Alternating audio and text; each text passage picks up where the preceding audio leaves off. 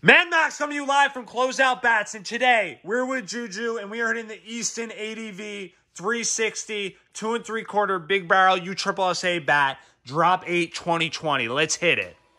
So this bat from Easton will be their top bat for 2020. This bat replaces the Ghost, which is a bat to forget about from Easton. This bat will have a two-piece design and will be a pro balance bat, which all drop eight and drop five from Easton this year will have that pro balance, which just means it's going to be a little bit heavier than a drop eight.